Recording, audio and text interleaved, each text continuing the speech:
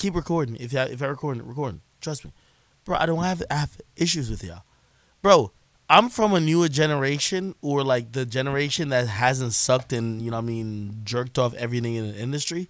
I get it, bro. Like not everybody's gonna like me. Like I started to realize it, but like, bro, there's sometimes the hate and everything they be giving me, and I understand other outlets might be newer who might have some animosity against me. Like, yo, we not about to defend Akademiks. Bro, they would do it to you if if they felt like you were the face. Bro, I had people accuse me. Yo, Meek was accusing me. Yo, I heard yo, salute to my Adam, because we talked. Adam was talking about some of the shit that he he talked about. Adam talked about posting six nine when he does King Von. I never posted that. You know when Meek was in that call, Meek said I posted it. I never posted it. Nigga, I was mad at six nine because of that. That's a fact. But he called me out and said I posted it, which I didn't. He called me out for posting a nigga who was beefing with him, dissing him. On um, Side Pop, I never posted him. That nigga did an interview with Vlad. That nigga paid other people to post him. I said, bro, I don't care what money you offer me. I won't post you dissing Meek because me and Meek, we into some shit. But all these niggas, they really just personalize it with me. Like, oh, it's Akademiks doing everything. Bro, yeah, yo, I just mentioned two cases where it's Vlad and no jumper. Y'all ain't mentioned him at all. Let me show you this. Bro, I yo, yo, just I'm probably gonna get off stream after this. I, I, bro, I, I can't take the fake shit, bro. My brother called me early and said, "Ack, yo, my brother. I promise you, my brother. He says, Ack, you the big dog. You gotta learn how to."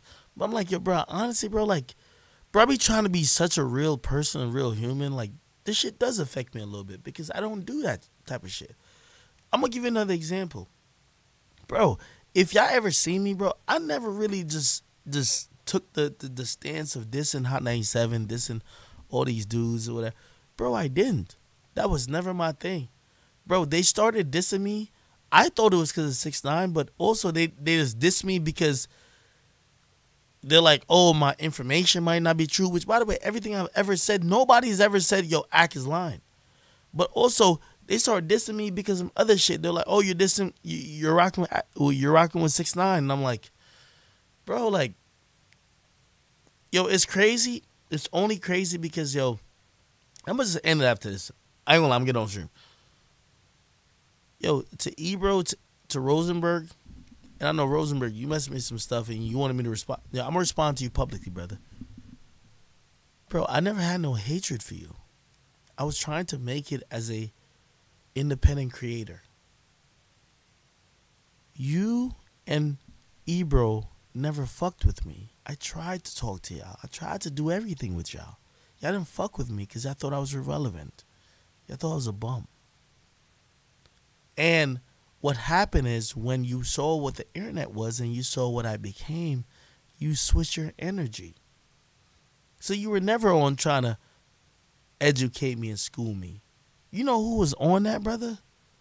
Yo, Charlamagne, I met him in 2013 bro, he was oh yo, you could watch my first interview with Charlamagne. Charlamagne, yo, I was a little sloppy a little bit at the end. He took the mic from me. He said, Yo, Ack, I'm gonna show you how to outro a motherfucking interview. I didn't know at that time. I was just doing me. Y'all refused to even talk to me. Y'all was just so high up on your high horse. Bro, I'm being a hundred percent honest. So I've heard y'all diss me mad times, and I kind of realized I'm like, yo, it's probably because it was six nine said about Ebro this and third. Bro, I haven't dissed y'all. Yo, Ebro, I fuck with you, in terms of like some of your logic sometimes. Bro, you turn me into like like you try to make me online like yo, I'm one of the niggas who's just so counterproductive. Like you try to make me an enemy. I didn't have no enemy vibes for you, bro. I looked up to you when I was like in terms of conversation, not talent. I thought Charlamagne was talented. I thought you were good at conversation. You, but but here's the thing: you nullified that. You didn't want to hear me, bro. I tried with you, brother. I tried to interview y'all. Y'all said, "Nah, yo, you Charlamagne's boy." Y'all was playing the industry games. I'm not an industry dude. Y'all dissed me. Y'all threw me to the side. Y'all act like I was a bum. And I was like, all right, cool. I'm gonna just keep working, keep working. When I started developing an audience, you asked me to come and get drinks with you. not gonna lie, it wasn't even ego on my side. I didn't even get a chance to do that. But also, even if I did, bro, I'm not no fake industry nigga. I was never ever gonna tell you like, yo, bro, you can't. Yo, I still fuck with Charlamagne, so if you don't fuck with him, you can't fuck. Yo, Charlamagne's never said that to me. He's never said, yo, wait.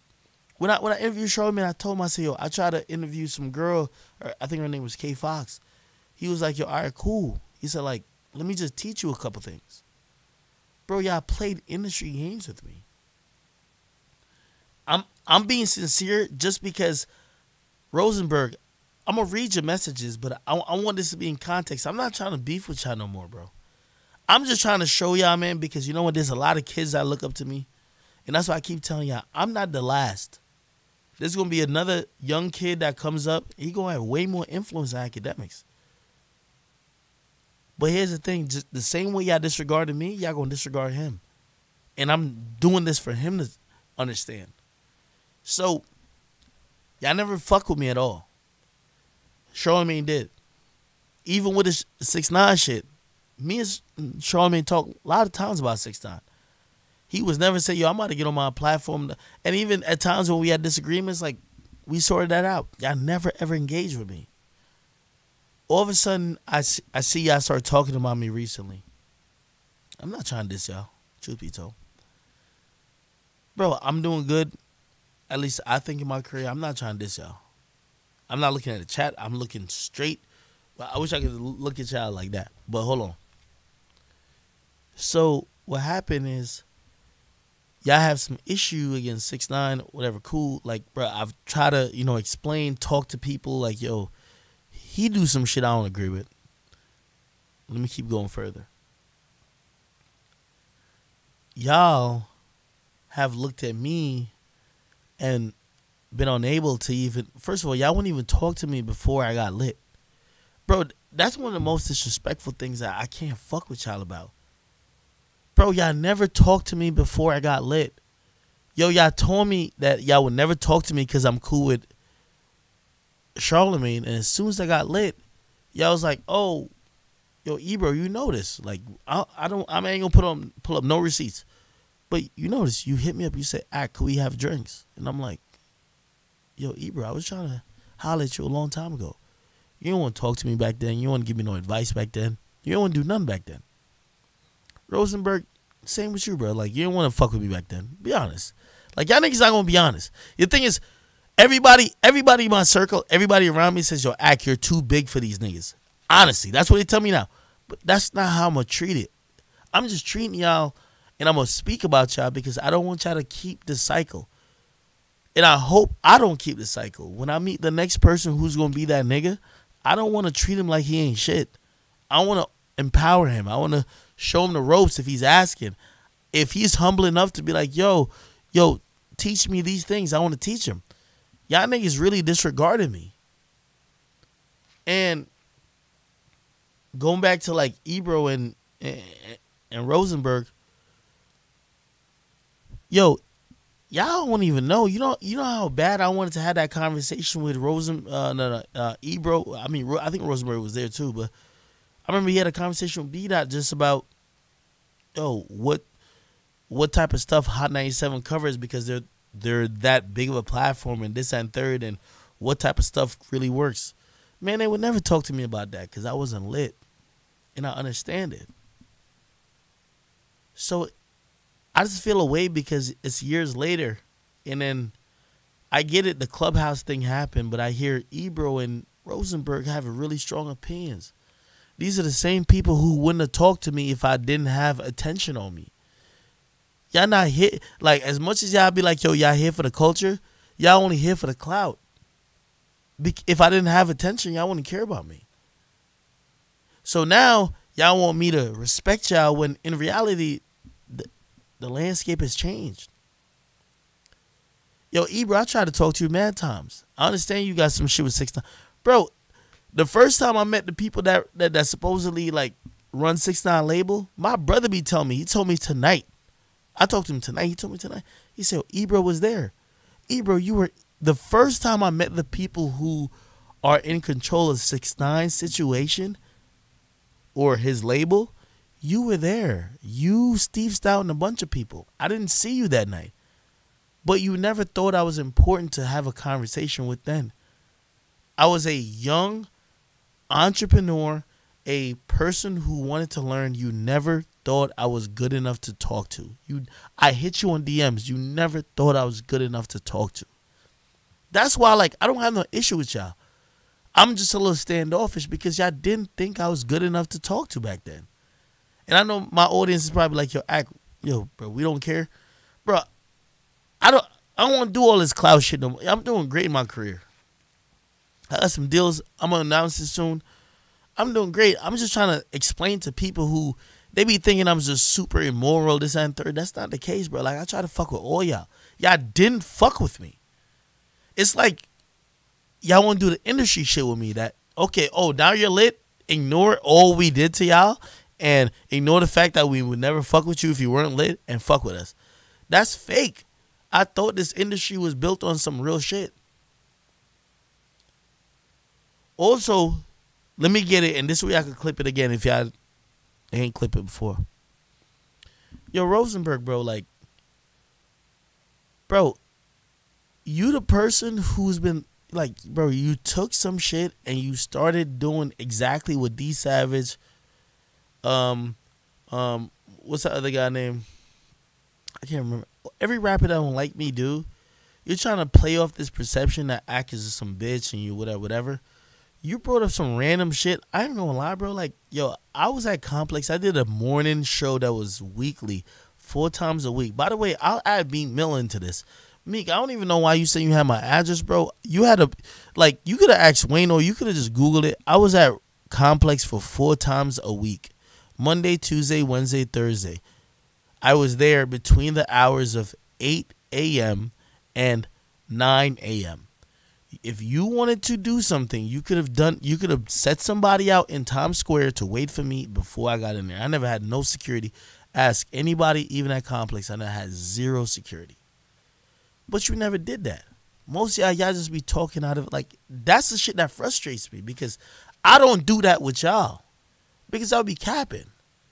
I know Meek Mill's address. I know all these niggas' address. But why would I say, oh, I know your address trying to intimidate when I'm not gonna do anything.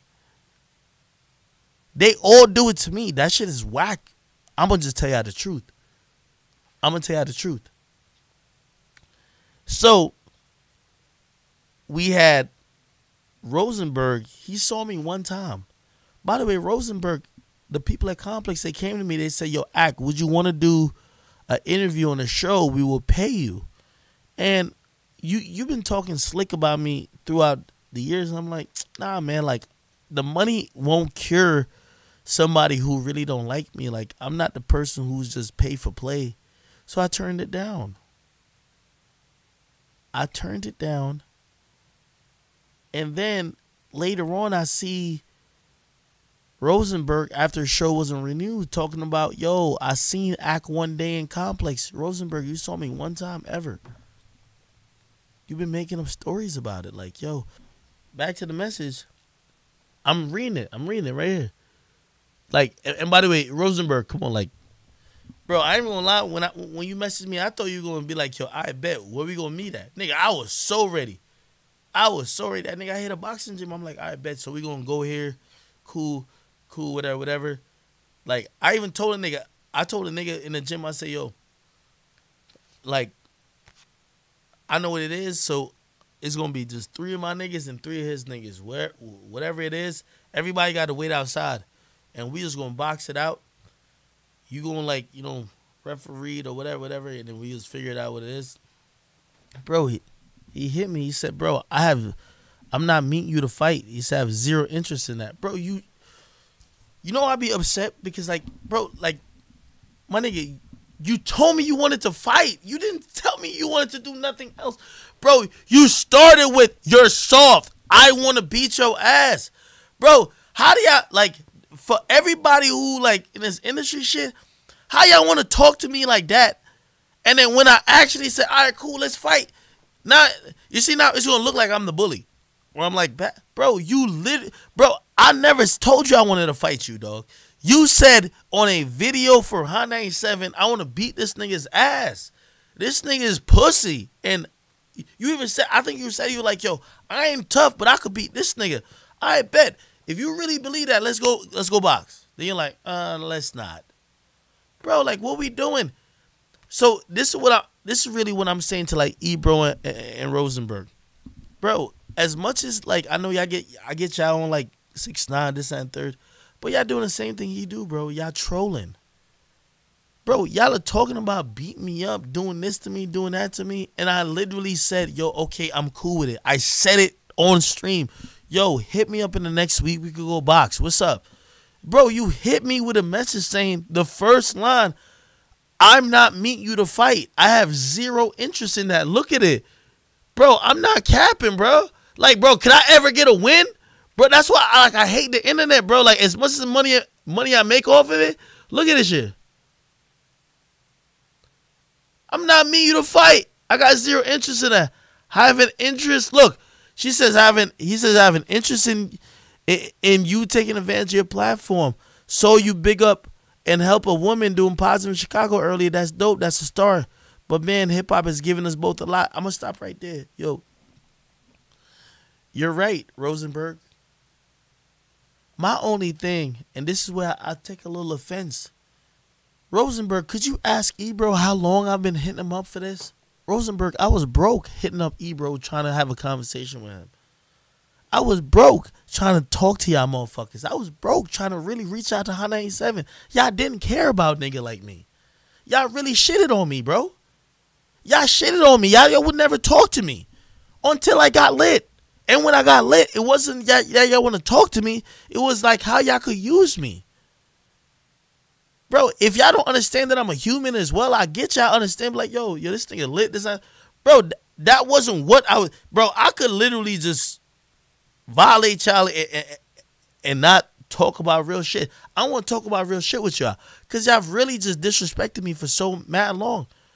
Bro, we could have been at a, a real personal relationship that no matter what happened, y'all could have put me to the side and say, Act, y'all fuck with you, but let me te- let me show you how to do this better or act Don, that ain't y'all never did that.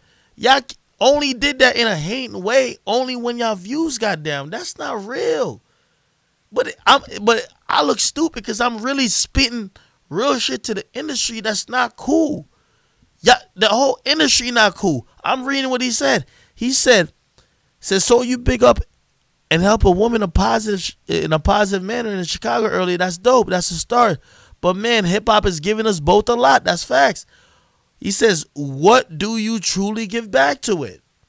He says, Because the way it feels, you use a culture and don't care. If I'm wrong, good. Hope I am. But that's how it seems. Yo, let me just tell y'all, yo, this is where this is where it's fucked up. The OGs isolated the young the young bulls. Y'all was trying to shit on me. Bro, I didn't bring y'all up into shit on y'all.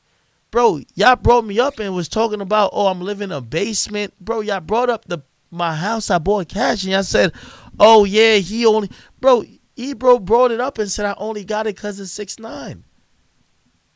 Bro, imagine me telling you that you only got your house or your everything you earned in your life because you was sucking dick. Bro, you would feel some type of way. Kids, you have not like, am I the only person that that can have feelings or y'all can't have feelings too?